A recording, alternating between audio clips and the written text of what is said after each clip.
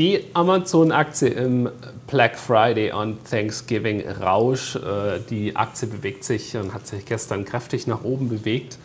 Wir haben die Situation bei der Amazon-Aktie, dass wir ein 1, 2, 3 Trendwendemuster aktiviert haben, haben bereits das 61,8er Fibonacci-Extensionslevel erreicht, schlossen da sogar drüber, da wo ich jetzt das X einzeichne. Und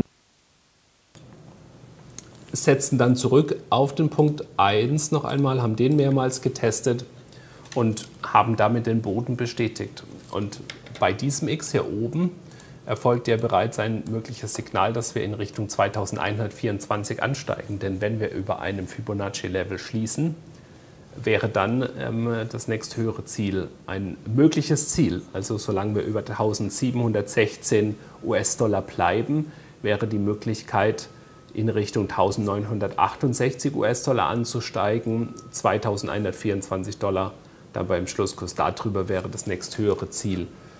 Bärisch wäre die ganze Geschichte jetzt, wenn wir hier eine Verhaltensänderung bekommen. Wenn also der Markt, und ich befinde mich hier im Wochenkerzenchart, eine Kerze steht für den Preisverlauf von einer Woche, äh, da müssen wir unter 1716 US-Dollar drunter schließen. Das wäre das, die bärische Variante.